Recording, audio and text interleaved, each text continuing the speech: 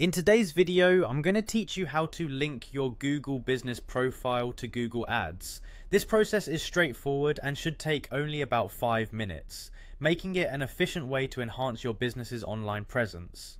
By linking these two platforms, you can leverage your business information more effectively in your advertising campaigns, ensuring potential customers find you quickly and easily. So, let's dive right into it. First, you'll want to open your preferred web browser and head over to the Google Ads homepage. Once you're there, sign in with your Google account that's already connected to your business profile and ads account. After logging in, you'll find yourself at the Overview tab, which is the dashboard where you can see key performance metrics and other important information about your campaigns. Next, move your cursor to the left side of the page and locate the Tools icon.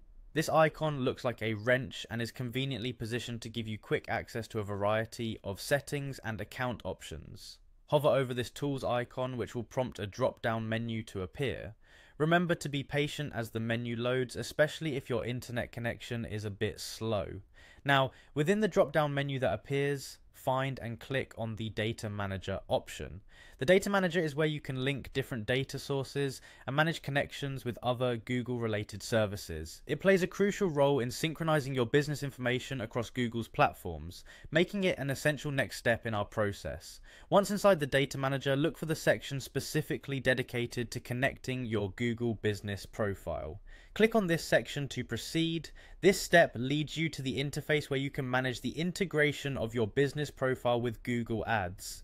It might seem a bit complex at first glance, but just follow along and you'll see it's quite user friendly.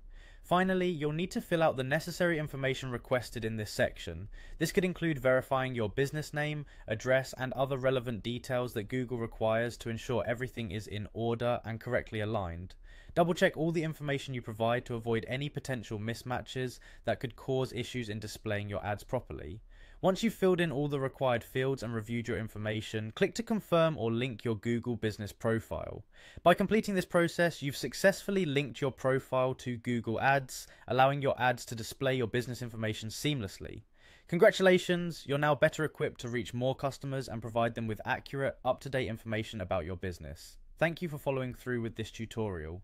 Linking your Google business profile to Google Ads is a pivotal step in making your online advertising more efficient and productive. If you have any questions or need further clarification, feel free to leave a comment or reach out for more detailed assistance. Happy advertising.